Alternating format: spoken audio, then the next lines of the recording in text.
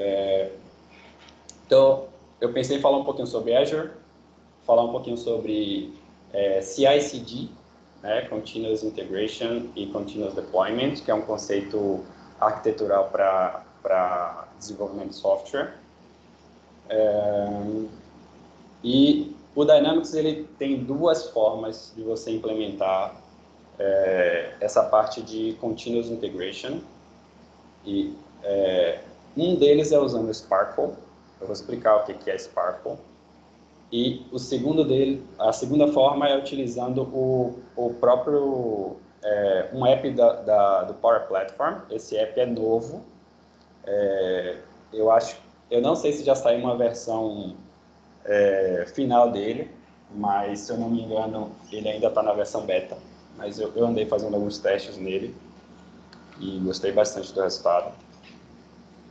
Então, beleza, a gente pode fazer de duas formas. Um deles é utilizando o Sparkle, e o outro é utilizando o Power Apps Build Tools.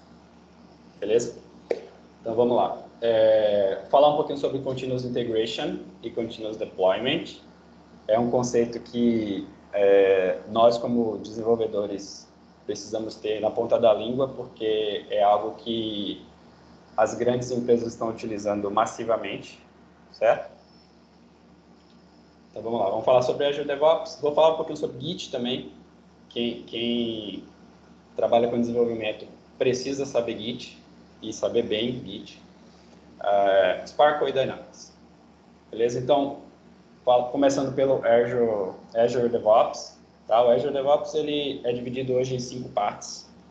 A primeira parte é, é Azure Boards, que é uma forma de você gerenciar toda a parte de de tarefas. Né? Então, imagine que você tem um time de desenvolvimento e esse time de desenvolvimento ele precisa é, ver né, quais são as tarefas que você tem planejado para o seu nome. Você pode atribuir essas tarefas para outras, para outras pessoas, é, pode colocar comentários, tudo mais. É, a gente tem a parte também de Azure Repos, né? Que é onde você pode é, utilizar para fazer os seus commits, né, utilizando a plataforma Git ou então o TFS. Né? Lá na Frequency Foundry a gente utiliza o Git. Agora tem alguns projetos bem antigos que a gente não utiliza Git, mas a gente tem procurado migrar tudo para Git. É, a parte de Azure Pipelines, onde a gente consegue implementar todo o pipeline de CI/CD, né? Continuous Integration e Continuous Deployment. Beleza? Tem a parte de, desculpa, Azure Test Plans, onde você consegue gerenciar todo o ciclo de vida de teste, é, essa parte é bem bacana também. Infelizmente, a gente não vai conseguir falar sobre Azure, teria que ter uma palestra só sobre Azure, teve gente já falando sobre Azure, é, mas eu estou mostrando só um panorama é, macro para você entender como que é, um arquiteto de software pensa no ciclo de vida de desenvolvimento, de desenvolvimento voltado para o Dynamics, beleza? Uh, e tem a parte de Azure Artifacts, onde você consegue gerenciar pacote. Então, é, aqui nessa parte de, de, de Artifacts, você consegue, por exemplo, gerar um pacote, colar lá, é, é, você consegue, por exemplo, ter mais de um pipeline é, colando e copiando dessa, dessa, os, os, os pacotes de build dentro desse Azure Artifacts. Beleza? Então, falar um pouquinho agora sobre o que é que é o Continuous Integration. É, Continuous Integration, ele é uma prática, né? ele é uma, uma disciplina de software hoje, é, que te permite você é, gerenciar todos os seus merges é, dentro de uma linha de, de, desenvolvimento, beleza? Então, imagina que você tem uma, todo um time de desenvolvimento, certo? Imagina que você tem um time de 10 pessoas e você precisa, a todo momento, é, compilar esse código e jogar esse código dentro de uma de uma de um repositório sem quebrá-lo, beleza? Porque é importante que no outro dia, quando você chegar para trabalhar, é importante que você chegue para trabalhar e quando você baixar o seu código, é importante que ele não tenha nenhum nenhum problema, nenhum erro, beleza? E é o Continuous Integration que vai permitir que você, quando você buildar o seu código, você consiga colocar lá.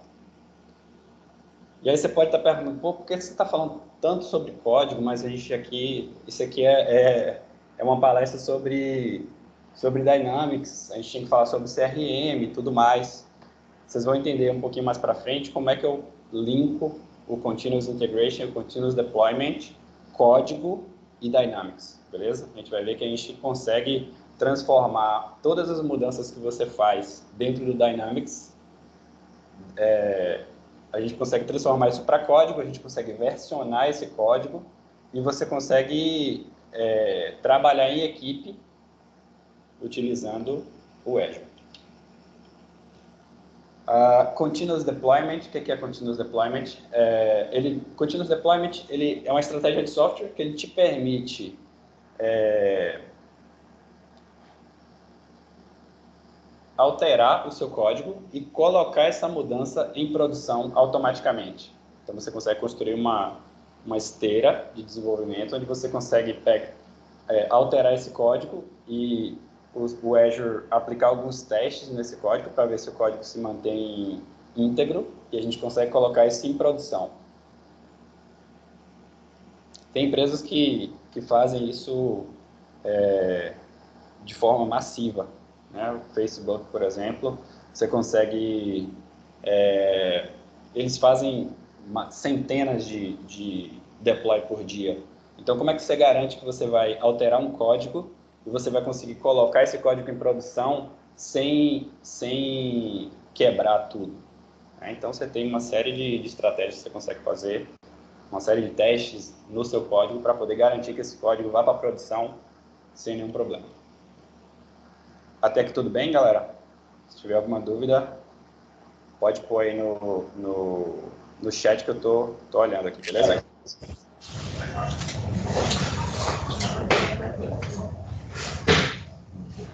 Então, vocês lembram que eu falei do, do Sparkle, certo? Que é a primeira, primeira estratégia de, de como implementar o CI. Então, o que é, que é Sparkle? Sparkle, ele é um, uma ferramenta open source desenvolvida por esse cara, Scott Durrell, que é um, um, um desenvolvedor é, sensacional. Né? Ele, ele, é muito ativo na comunidade. É, quem puder acompanhar esse cara, é, o pai do Fat é esse cara aí mesmo. Isso aí mesmo, já. É, é um cara muito ativo na comunidade, então a gente utiliza bastante aí o Sparkle, né? Eu fiz um.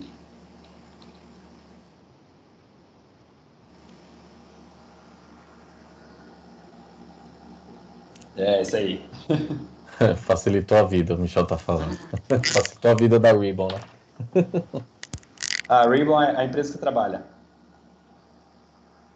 Não, a Ribbon do Dynamics, né, na verdade. Ah, tá. ele criou, é, o Scott Dorman, ele criou... Ah, o Ribbon Dynamics, beleza. O, é, o Ribbon Workbank, que é bem legal. Facilita ah, nossa... bacana. show, show, show, show. Não conheço, não. É... Show de bola. Então, você consegue, é, com o Sparkle, você consegue é, versionar plugins, você consegue versionar Fiber Resource, uh, e colocar isso em produção. Então, com o que é que o Sparkle se parece, né? Então, a ideia é versionar a sua solution dentro do, de um código mesmo, uma, de uma solution do, do, do .NET mesmo, né?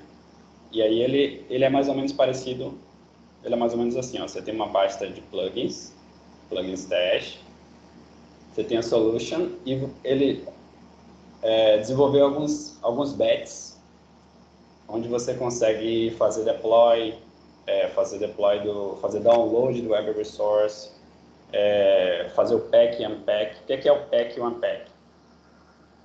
O pack, é, o unpack, você, quando você roda isso aqui, você consegue pegar todas as alterações do, é, da sua solution. Então, imagina que você recebeu uma, uma tarefa para incluir um campo no formulário. Bem, tarefa bem simples, né? Como é que a gente faz hoje lá, né? Quando eu recebo uma tarefa dessa forma, o que é que eu faço? Primeira coisa, então eu tenho aqui minha solution, beleza? Então, primeira coisa, eu recebo a minha tarefa via Azure é, Boards. E aí vou lá e crio é, git branch. Então a gente versiona nosso código com branches, beleza? Até aí vida, vida normal. Então vamos criar uma nova branch aqui.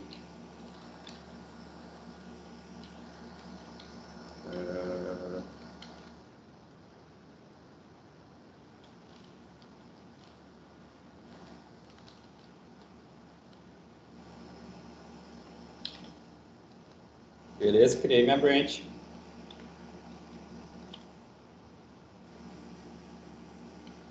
Legal. Depois que eu criar minha branch, tá vendo aqui?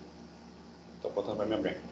Então você vai entrar lá, vai fazer a sua alteração, por exemplo, adicionar um campo, por exemplo. Estou na, na, na versão clássica aqui, mas essa versão já morreu. Agora a nova UI está show de bola.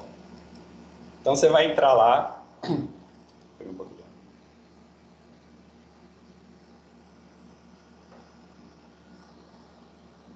É, vai adicionar, é, vai fazer o que você tem que fazer, por exemplo, se você precisar adicionar um campo, criar um artefato diferente, criar um form diferente, versiona form, versiona é, workflow, então você vai fazer sua alteração. Depois, depois que você fez sua alteração, você vai vir aqui, vai dar o seu commit, certo? Normal, git add, git commit,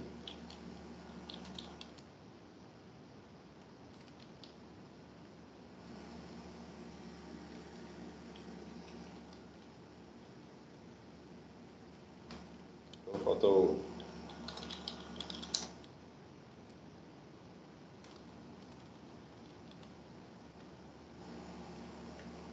e vai dar o seu, o seu git push. Você pega esse código, joga lá para Azure, beleza?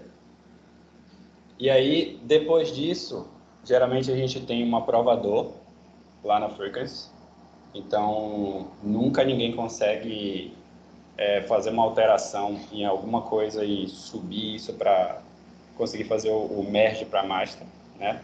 A gente sobe isso, a gente tem configurado lá o aprovador, né?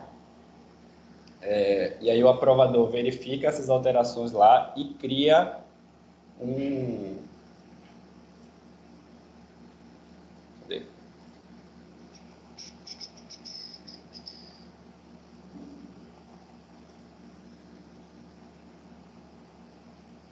E cria o seu pull request. Deixa eu explicar um pouquinho o que é, que é pull request, né?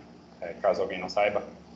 É, a ideia né, do, do, do Git é você nunca trabalhar em cima da master, tá? Então você tem pense na master sempre como a sua a sua versão estável do sistema.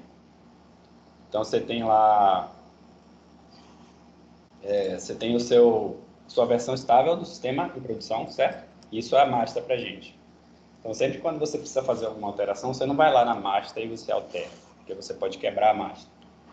E isso pode trazer consequências sérias. Então, a ideia é criar uma branch nova, certo? Uma ramificação dessa master, fazer a alteração nessa master, depois você dá o commit certo? E esse commit ele não vai para a master, ele vai para a sua própria branch. E aí tem um aprovador que pega esse commit e verifica se as alterações feitas estão de acordo e joga essa alteração para master, beleza? Então, só para vocês entenderem o fluxo direitinho, como é que a gente pensou para poder é, fazer a, a, a, fábrica funcionar, né, digamos assim, fábrica, pensando mesmo no conceito de fábrica de software, né? Eu vim de, de fábrica de software há muito tempo, o Vitor trabalhou comigo em fábrica de software também, há bastante tempo atrás, então é, é sempre eu penso nesse, nesse sentido.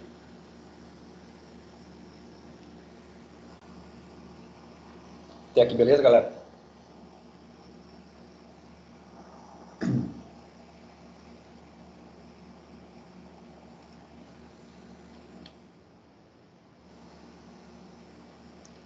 Então vamos lá. Os stepzinhos aqui ó, que eu criei. Depois eu posso até disponibilizar esse,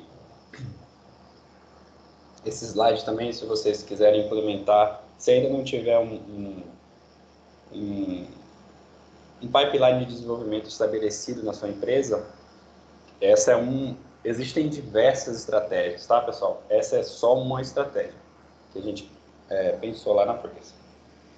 É, depois eu vou disponibilizar isso aí e vou também e me coloco também totalmente à disposição para ajudar no que for preciso, certo? Então, vamos lá. Primeiro vai para master, certo? Git pull para é, atualizar a master.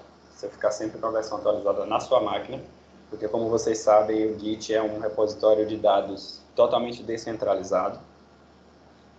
É, depois você cria a sua própria branch, certo? É, vai lá no Sparkle Configuration, isso aqui eu não mostrei para vocês, né? Mas o Sparkle, ele tem... Aqui, está até aberto. Ele tem um, um arquivo de configuração chamado sparkle.json, que você consegue... É, que você aponta para a solução que você está no momento. Solution Unique Name aqui, ó. Beleza?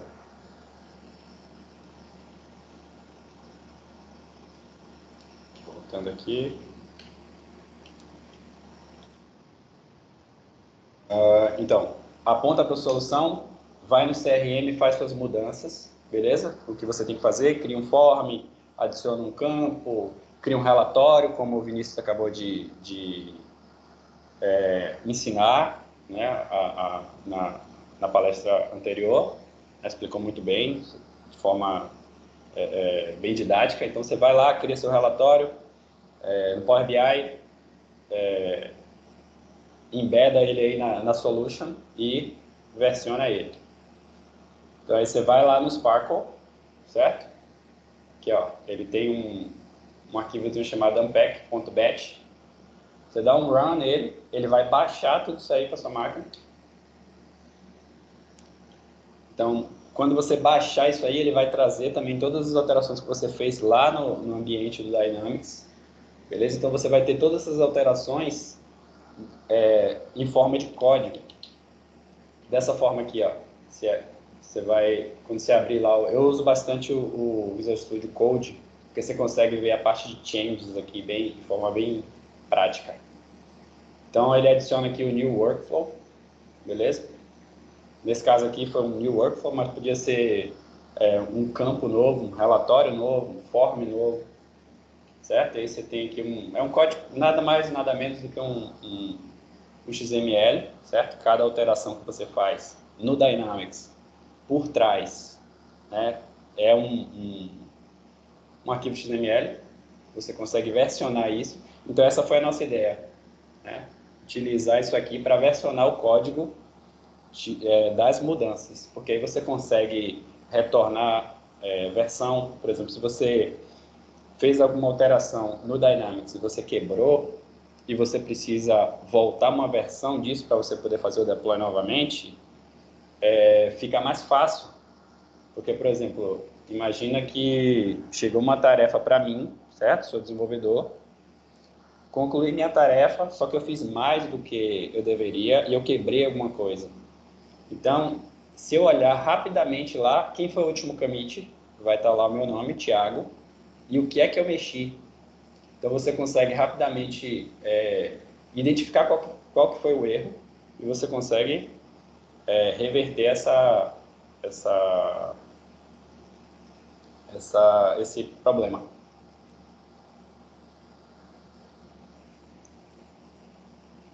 E aí depois você dá os check-in do seu código, dá o push do código para o servidor, é, dá o push, e aí cria o pull request, né? Você pode, eu vou até abrir aqui para mostrar para vocês rapidão.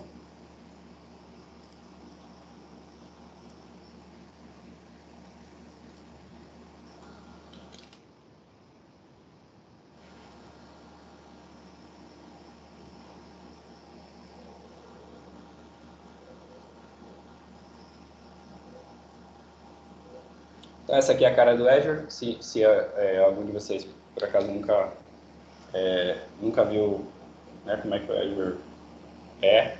Então, aqui você tem os work items. Vou abrir porque tem é, coisa confidencial aqui. Mas, uh.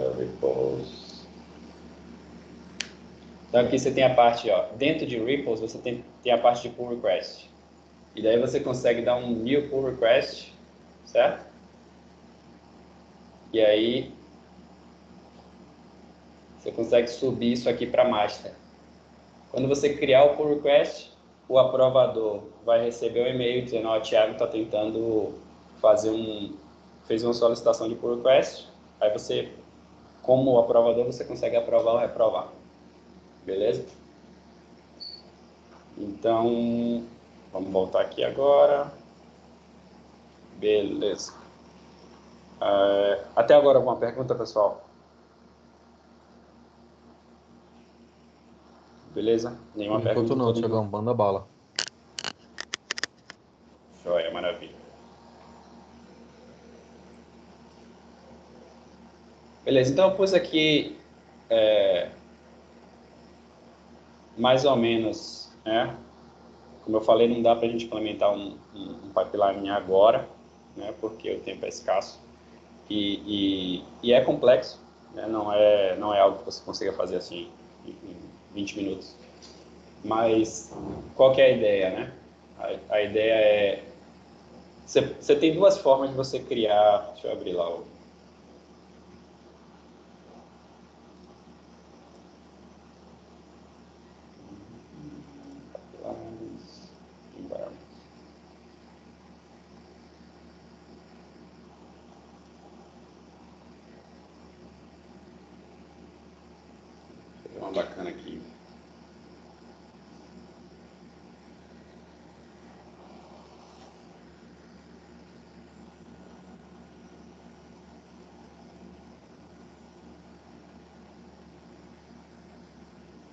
Então, como eu falei, você tem duas formas de, de utilizar, né, o, o, de criar sua pipeline. Um deles é o Sparkle.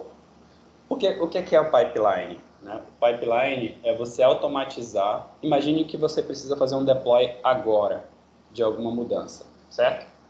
Você tem determinados passos que você precisa fazer no servidor, certo? No caso, se for on-premise ou se for é, se for online, você tem determinados passos que você precisa fazer para colocar o seu código em produção, beleza?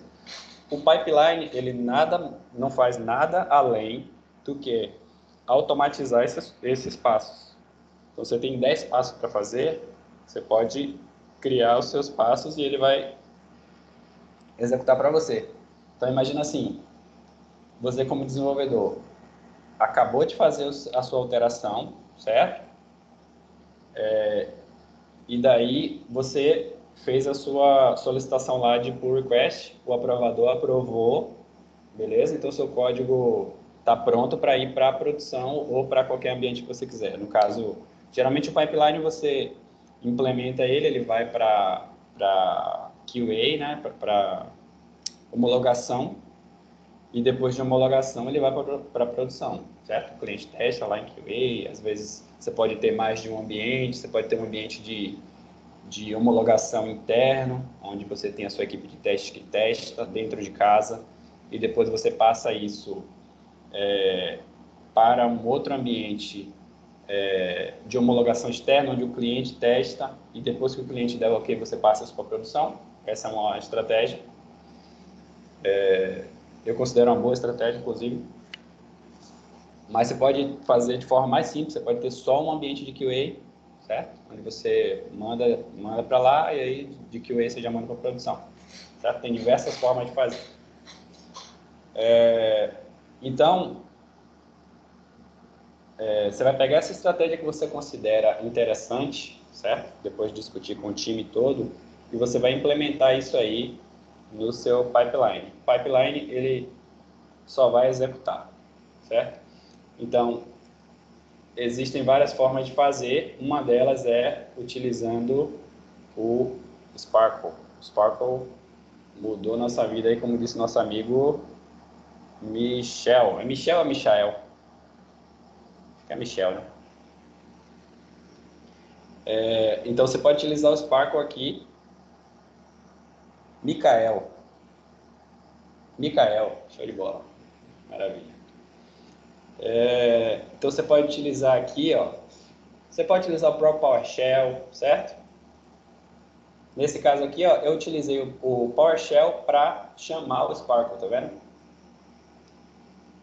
Depois, depois eu posso, eu vou disponibilizar o, o tudo para vocês. Então a ideia é todos aqueles passos que eu mostrei para vocês, a ideia é executar ele via pipeline. O pipeline ele consegue fazer qualquer coisa. Então você tem, você pode rodar em PowerShell. Sabe que PowerShell você pode fazer qualquer coisa, né? Então a gente utilizou basicamente o PowerShell como a gente estava utilizando aqui, ops, aqui, certo? Para chamar os Sparkle. Então, você vai dentro da pasta, é, pega o, o, dá o pack, certo? Para pegar o seu código. Então, tudo que a gente fez lá, a gente vai fazer aqui, ó. Então, você pode fazer isso é, da mesma forma que você fez. Qual estratégia, o Mikael está perguntando, qual estratégia, qual estratégia que usa para versionar a solução? Fica na mão do desenvolvedor, ele que seta a versão. Ah, boa pergunta, cara. Boa pergunta. É, versionar, a gente versiona automaticamente. Tem um dos passos aqui. Excelente pergunta. Cadê? Não sei se eu vou achar ele aqui agora. Aqui, ó. É, quando você dá o build, te, o primeiro passo que eu faço aqui é setar a versão. Então é dessa forma que você faz para setar a versão. Então você gerou seu build, subiu, ele vai colocar lá 9.2. No caso do, do Matter, que é o, o, o é... Ai, fugiu o nome agora. Que é o, o sistema que a gente trabalha lá, um produto lembrei, produto. Que é o produto que a gente trabalha, lá é um produto voltado para a educação superior, Higher Education. É, ele está na versão 9.2.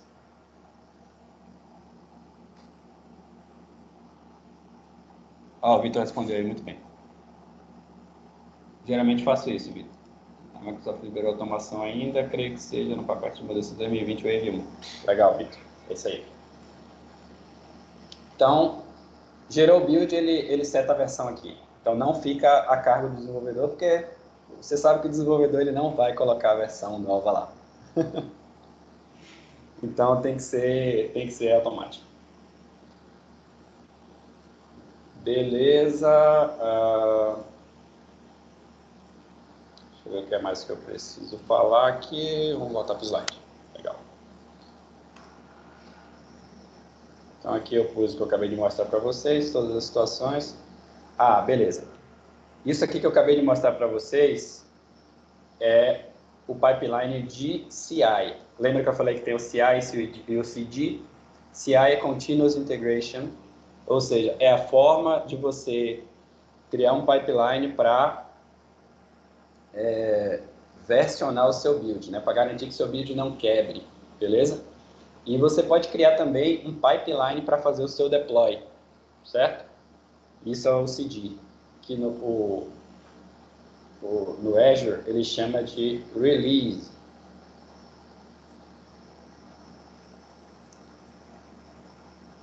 Release, tá vendo?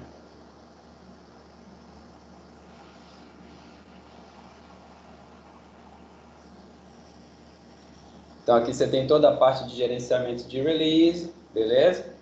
Onde você consegue, inclusive, ó que, que bacana, você consegue, inclusive, criar vários, vários é, ambientes, né, para vários ambientes mesmo. Você, imagina que você tem uma, uma estratégia de, de entrega de software que é o seguinte, você tem o seu ambiente de desenvolvimento, que é onde o desenvolvedor manda, certo? Depois você tem uma, um ambiente de QA interno, por exemplo, você tem um ambiente de QA externo, onde, onde o, o cliente testa, e você tem finalmente a produção.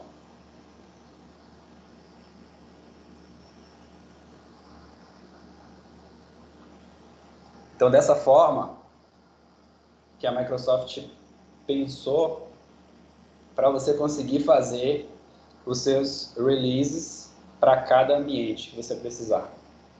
Então, é, você consegue criar provadores no meio disso aqui. Isso aqui é assunto para uma semana, tá? Tem muita coisa para aprender, muita coisa para fazer. Você consegue, agora que a gente está utilizando lá, que eu estou gostando bastante, é o, o Terraform, né? Deixa eu abrir aqui para vocês verem. Aproveitar, deixa eu ver se a gente tem um tempinho. Tem, tem um tempinho. Tem 20 minutos ainda, o, o Thiago. Fica tranquilo. Ah, então beleza. Dá para falar sobre bastante coisa.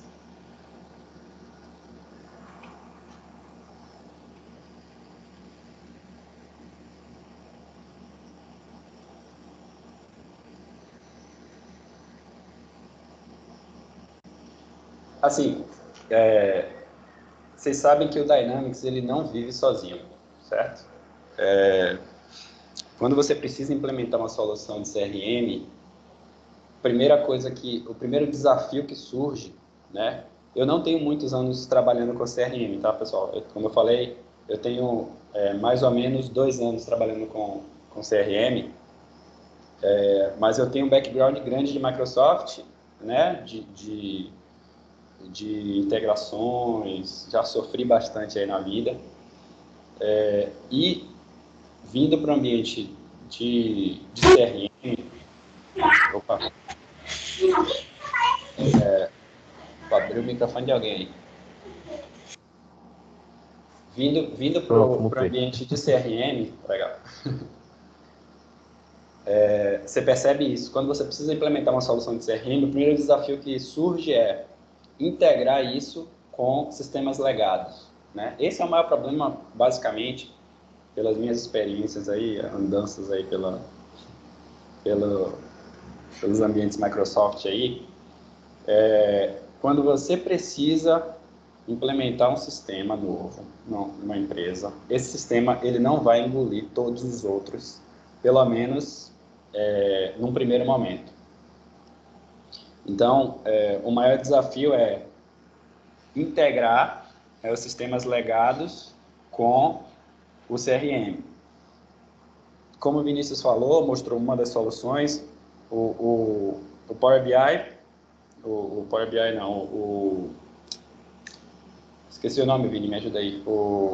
XRM Toolbox? Não. É... Dynamics 365? O Flow. Ah, Flow, Flow, que agora é o Power, Power Automate, é, ele, ele veio para facilitar muito a nossa vida nesse sentido, né? Porque antigamente como é que a gente fazia? Criava web service. Então você cria web service, você cria é, seta para ele rodar lá todo dia meia-noite para pegar lá os dados, é, jogar em fila, pega da fila, joga para para o CRM, aí dá pau de madrugada, aí o cliente reclama porque não está vendo os dados é, sincronizados com o que ele tem no outro sistema dele. Então, assim, é, essa é a nossa vida, né? Fazer com que toda essa engrenagem aí é, funcione de forma harmônica, né? Com menos problema possível. Ó, o Mikael perguntou aqui, Thiago, que estratégia de solução você utiliza quando tem uma empresa que utiliza o Dynamics em várias áreas e precisa realizar entregas em vários momentos separados? Separa em várias soluções ou sempre utiliza uma e sempre entrega somente em uma solução? Ah, peraí, deixa eu ver se eu entendi aqui. Tem uma empresa que utiliza Dynamics em várias áreas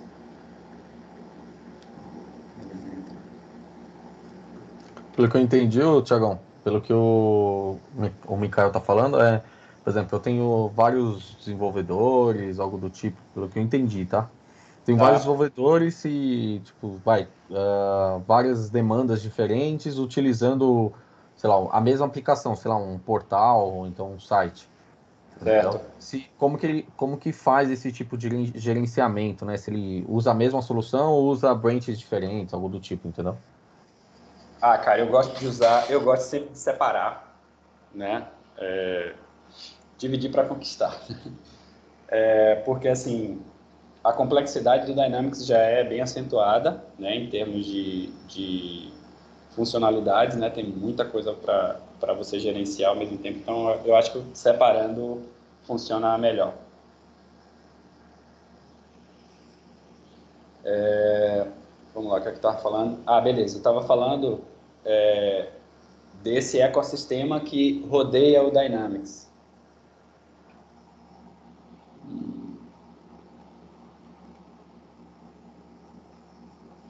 Ah, o Vitor, o Vitor ele pode falar mas muito melhor do que eu, porque ele já tem muita experiência com Dynamics aí. Uma prática que eu vejo sempre é separar a solução por componentes. Legal. Legal customização entidades, views, forms, workflows, relatórios, security roles. Legal. É, exatamente. Eu, eu vejo dessa forma também. Você, você separar, porque aí você, você consegue organizar melhor. Né?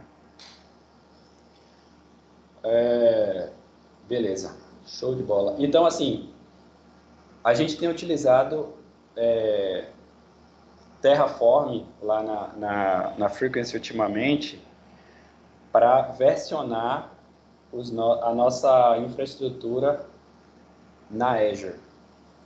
Então, assim, é, como eu falei, a gente ainda tem rodando lá é, é muito é, sistema.NET rodando, onde esses web services que eu, que eu falei que pega de um lugar, joga para o outro, para fazer a sincronização de dados. E a gente tem um produto. Desculpa. Fica falando a garganta seca.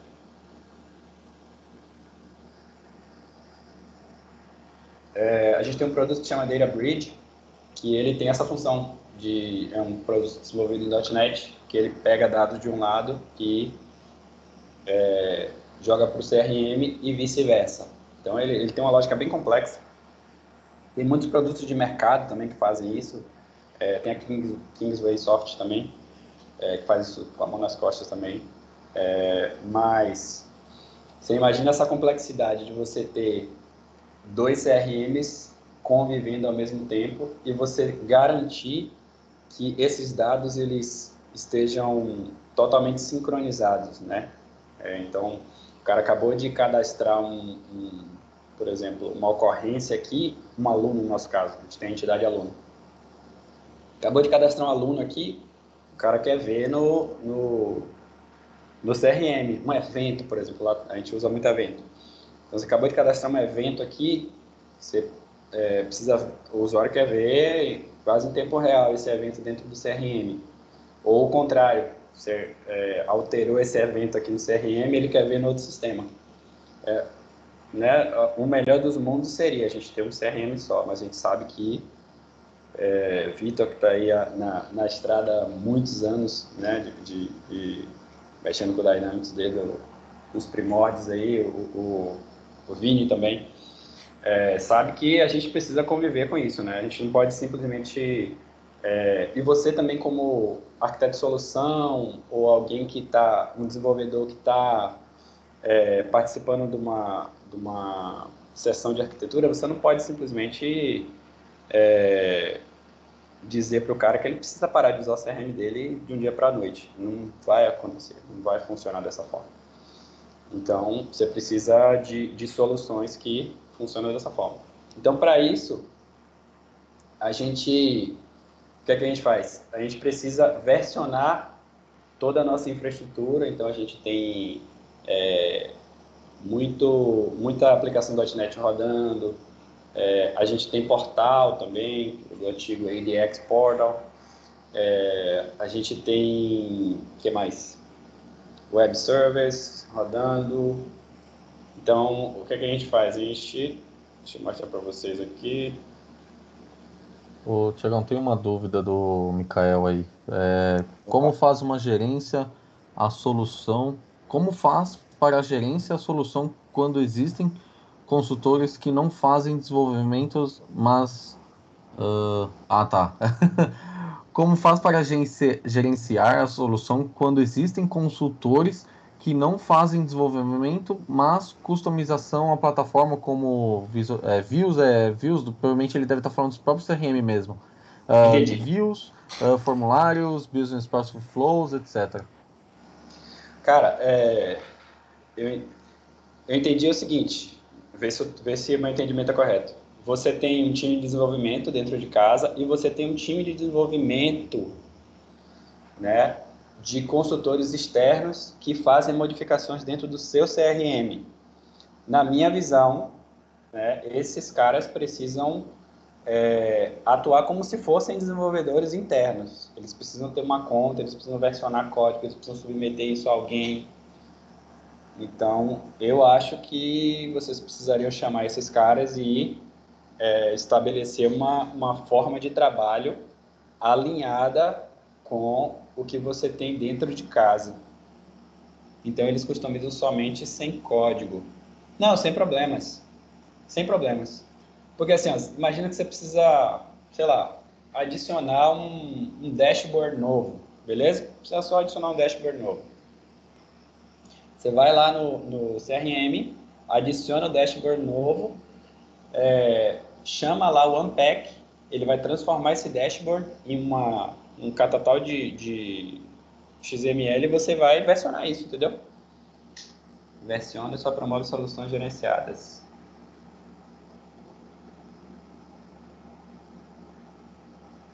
Boa, Vitor. Essa é uma solução fantástica também. Boa, boa.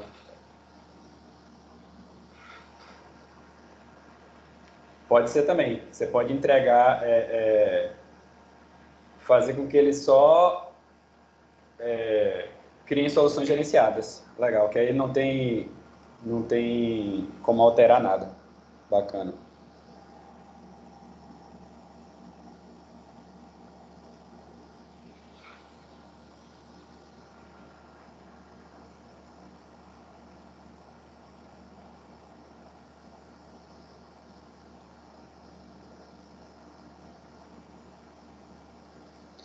Legal. Uh, mostrar o, o Terraform.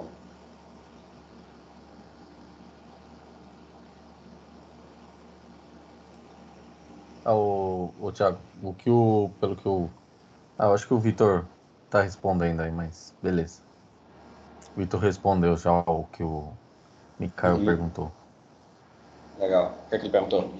Então, se faz alteração, desafio de colocar uma solução controle de versão.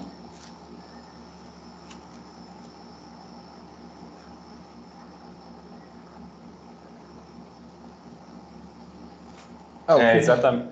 Foi o que ele quis perguntar, por exemplo, as customizações do CRM mesmo, que é, sei lá, uma regra de negócio, né? Um, uma própria, um campo, se daria para versionar isso lá no DevOps, entendeu? Pelo que eu Pelo que eu entendi aí, por exemplo, vai. Tá, uh, tá. Que ele fala de skill sem dev é um funcional, né? Não um desenvolvedor. Uhum. Entendi. Entendi. Daria para pegar essa solution e versionar aí no. Dá, no dá totalmente. Totalmente. É, é isso que o Vitor falou, que é, as customizações sem código deveriam fazer parte do processo de desenvolvimento comum. Ou seja, porque esse cara, né, esse consultor, ele pode acabar com o seu processo de, de, de desenvolvimento, entendeu? Não adianta você ter, uma, você ter uma, um, um time dentro de casa, todo mundo trabalhando alinhado, é, todo mundo é, versionando, certo? Faz alteração, versiona, sobe, faz pull request, alguém aprova, você tem o seu, o seu, a sua baseline lá, a sua marcha toda bonitinha, e aí vem um, um consultor externo e é, é, altera seu, seu código em produção, ou altera seu, seu build, entendeu? Sua, sua, sua master, não faz sentido, entendeu? A ideia seria esse cara fazer parte do seu processo de desenvolvimento comum. Então, tornar ele um desenvolvedor como é um desenvolvedor interno. E o que você perguntou, é, tudo bem, esse cara ele não tem skill de dev, beleza? É, mas a alteração dele, qualquer alteração que ele faz, ele pode transformar isso em, em, em como fala? Em código, como eu mostrei, através do unpack, entendeu?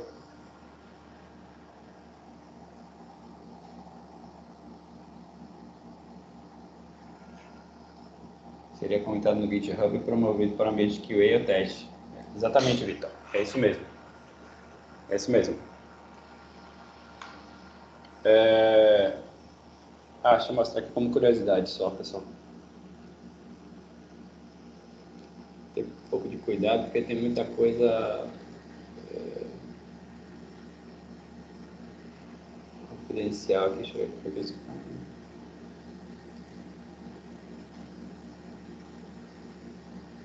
Então, assim, falando só do Terraform rapidinho, é uma forma de bacana que a gente recomenda muito é você versionar a sua, o seu ambiente da Azure, ou seja, todos os seus artefatos da Azure é, como código, né? Vocês devem, quem está antenado aí com, com as é, últimas é, novidades aí de mercado, tenho ouvido falar bastante em infra é, como código, né? Infra as a code. É, você consegue, com o Terraform, é, tem uma te possibilita fazer isso, então você consegue, assim como você consegue transformar os cada cada componente do Dynamics em código e versionar, você também consegue olhando para o lado do da Azure, né? Você consegue transformar também cada componente que você tem lá dentro da Azure como código e versionar isso. Então, você tem, imagina que você tem um Logic App lá que você precisa é, trigar ele todo dia, certo? De madrugada, por exemplo, para fazer determinada coisa, você consegue, é, que é o nosso caso lá na, na Frequency, inclusive, você consegue versionar isso. É, tem muita coisa legal, tem muita, é, muita novidade surgindo aí. É, a gente precisa estar tá, tá antenado aí com o mercado, porque é, o mercado de, de Power Platform vem crescendo assim avassaladoramente. Você precisa estar tá de olho. Eu mesmo, quando eu vacilo, já tem cinco coisas que eu não, não tinha ouvido falar e eu preciso voltar e, e, e estudar.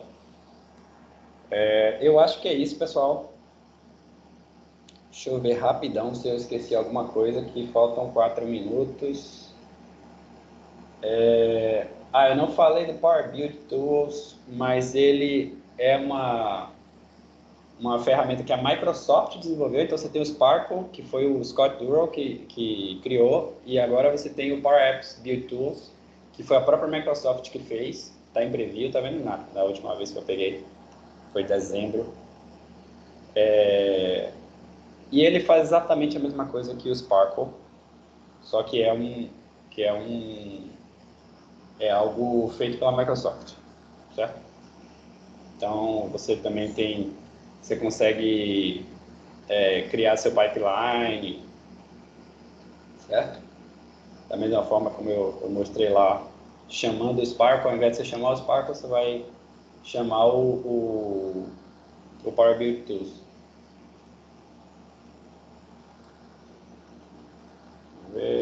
O release também você vai fazer da mesma forma. Certo, galera? Eu acho que é isso. Se alguém tiver alguma pergunta para fazer, a gente tem três minutos. Obrigado, viu, pessoal? É, eu precisei correr bastante porque esse é um assunto muito denso. Né? Como eu falei, a gente podia ficar falando é, o dia inteiro sobre DevOps né, dentro de Dynamics, mas eu tentei mostrar um panorama geral de como a gente é, pensou no pipeline de desenvolvimento aí dentro voltado para o Dynamics. Beleza? Obrigado, pessoal. Ah, se quiser